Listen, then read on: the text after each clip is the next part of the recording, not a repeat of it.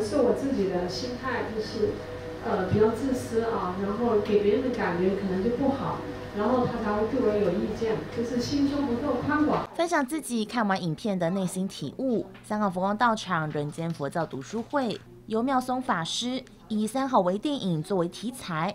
勉励大众切勿对不了解的事情仓促做出判断，而是需要有同理心，在能力范围内去帮助他人。别人有对你有成见，你还是很欢喜。